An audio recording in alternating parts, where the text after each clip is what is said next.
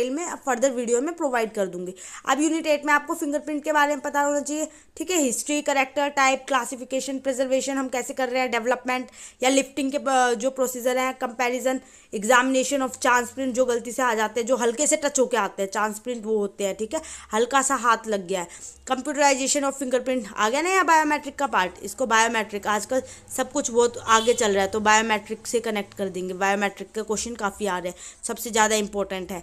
ठीक है A F I से जो हमारा फिंगरप्रिंट का सिस्टम है और उसके बाद ट्रैक मार्क जो हमारे ट्रैक मार्क्स होते हैं फुटप्रिंट के हो गए शू प्रिंट के हो गए टायर के हो गए, जो कि मैंने आपको वीडियो प्रोवाइड कर दी है, ठीक है? इसके प्रिजर्वेशन हमारी हो गई कास्टिंग कास्टिंग हो गया कंपैरिजन हो गया स्किड मार्क हो गए गेट पैटर्न इसकी भी आपको वीडियो प्रोवाइड है। तो ये आप वहाँ से कर लेना और क्या नाम है, आपके फुटप्रिंट शू प्रिंट भी कर लेना टायर मार्क पे मैं आगे बना दूँगी।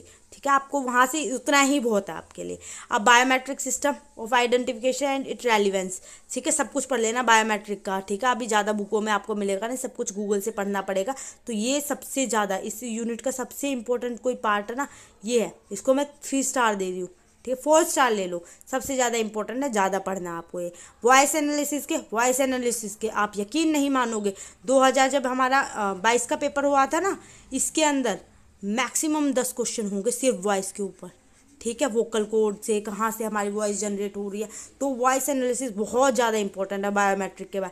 अभी सारी चीज़ डिजिटल से आ गई ना तो ये दोनों यूनिट बहुत ज़्यादा इंपॉर्टेंट है तो आपको ये कवरअप करनी है कि इंट्रोडक्शन नॉर्मल पढ़ना है वॉइस एनालिसिस का सिग्निफिकेंस क्या क्या होते हैं, क्या बेनिफिट है ह्यूमन वॉइस के क्या, हम अपर्चर कैसे वो डेवलप हो रही है वॉइस स्पेक्ट्रोग्राफी हम कैसे कर रहे हैं वॉइस एनालिसिस क्या कर रहे हैं और इसके लीगल एस्पेक्ट्स और लिमिटेशन जो हमारा सेक्शंस वगैरह की बात आ जाती है, उसमें आप कहाँ यूज़ कर रहे हो, ठीक है? जो हमारा, इसके रिगार्डिंग होता है इंटेलिजेंस के भी रिगार्डिंग तो यूनिट एट का आपका इतना